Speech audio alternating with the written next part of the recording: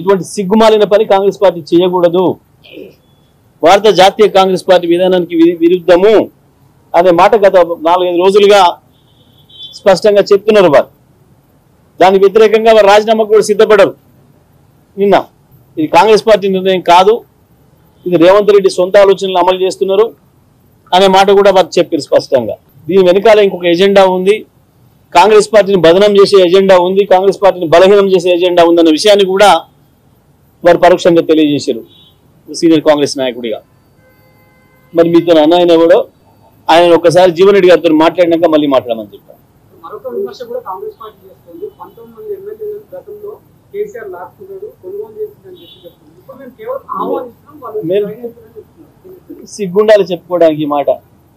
ఆ రోజు వాళ్ళందరికీ కలిసి చట్టంలో ఉన్న అవకాశం ప్రకారం మేము విలీనం అవుతాం మా ఎల్పీని విలీనం చేస్తాము అని చెప్పి చట్టబద్ధంగా విలీనం చేసింది లేకపోయింటే డిస్క్వాలిఫై అయ్యేవాళ్ళు కదా కోర్టు కూడా వెళ్ళింది వీళ్ళు.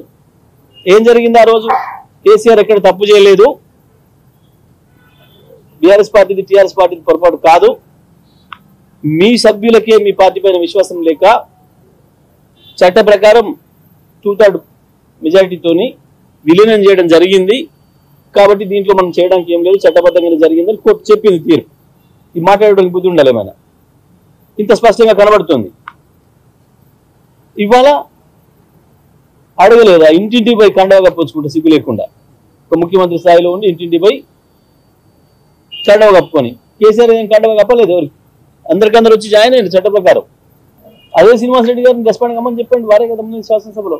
స్పీకర్ గారు తప్పు చేసిండు అప్పు చేసిండు చెప్పమని చెప్పండి. చట్ట ప్రకారం చేసిండా చట్ట విధంగా చేసిండా చెప్పమని చెప్పండి. ఇంకా మీ కేసీఆర్ ఎమ్మెల్యేల మీటింగ్స్ పైన కూడా వాళ్ళు కామెంట్ చేస్తారు. గతంలో ప్రగతి భవన్ ఎట్లు కూడా ఎక్కలేదు ఇప్పుడు ఎందుకు గ్రూప్ గ్రూప్గా రమ్మని చెప్తున్నారు. ఏ, అది బుద్ధి లేని మాటలు వెనకాల ఎవడు ఎవడు ఇడియట్స్ మాట్లాడతారు రోజు కలిసినాం మేము. కేసీఆర్ గారు కలవని రోజే లేదు. మేము బృందాలుగా కలుస్తాం. ఎందుకు మీకెందుకు తడుస్తున్నాయి మీరు ఎందుకు భయపడుతున్నారు? కేసీఆర్ గారు కలవడం మొదలైందనగానే మీకెందుకు లాగు తడుస్తున్నాయి మా పార్టీ నాయకులు మా కేసీఆర్ కలిస్తే మీరెందుకు కొనుక్కుతున్నారు మీరెందుకు మాట్లాడుతున్నారు దాని గురించి? మీ ముఖ్యమంత్రికి ఇంటికి ఓడోడు దొంగలు వచ్చిపోతున్నారు. మేమే మాట్లాడతలేం కదా సాటంగా ఓడోడు మూడోలు తీసుకొని వచ్చిపోతున్నాడు. మేమే మాట్లాడతలేం కదా. ఏమేమి మంచుకుంటున్నారు అరే కేసీఆర్ దగ్గరికి తప్పకుండా పోతారు.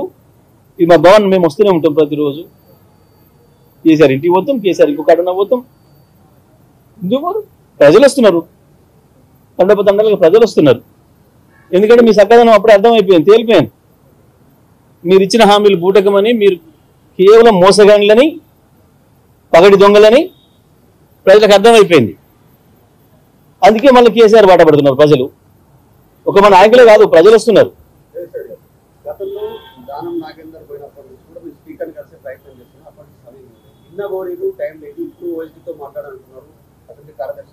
స్పీకర్ ఎందుకు అందుబాటులోకి రావట్లేదు అని కూడా ఏమైనా ప్రెజర్ ఉందనుకుంటారా ఏంటి? అది ఆయన చెప్పాలి కదా. స్పీకర్ గారిని అడిగాల్సిన ప్రశ్న నన్ను నన్ను అడుగుతున్నారు. స్పీకర్ గారిని అడిగారు ఆ విషయం మరి. న్యాయంగా ఇవ్వాలి. వారు ఏం చెప్పిండ్రు? మేము పార్టీలకు అతీతమైన మనిషిని కదా స్పీకర్ మాట్లాడేది.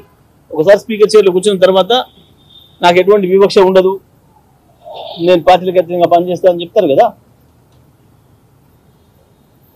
వారు నిన్న నాకు సమయం నేను సమయం అడిగినప్పుడు ఏమేం చేస్తున్నాడు ఏందనే విషయాలు నేను మాట్లాడు ఎంత బిజీగా ఉండడం విషయాలు నాకు సంబంధం లేదు. నేను అడగటం గౌరవంగా ఒక శాసనసభ్యుడిగా నేను అడగాల్సిన పద్ధతులు అడిగిన మరి రెస్పాండ్ కావాల్సిన పద్ధతులు కాలేదు నాకున్న ఇతర మార్గాలు ఎంచుకున్నాను. పేపర్లు టీవీలు మీరు లీగల్గా ఫైట్ చేస్తున్నారు ఎమ్మెల్యేల పైన అనౌన్సర్ కోసం ఇంత జరుగుతున్న ఈ అంశాలపైన ఎందుకు ఆయన రెస్పాండ్ అవ్వట్లేదు? రీజన్ వారే చెప్పాలి. మేము కూడా దానికి తగిన సమయంలో తగిన రీతిగా స్పందిస్తాం. గూడెం ఢిల్లీలో ఉన్నారు ఆయన పార్టీ మాటలు ఏవో తెలియలేని మాటలు పంకిమాల మాటలు ఇవన్నీ కూడా. ఈడ ఈడ రేవంత్ రెడ్డి ఇంటింటికి వచ్చి తిరుగుతుంటే ఆ పాపం ఇల్లు దాకా ఎందుకు పోవాలి?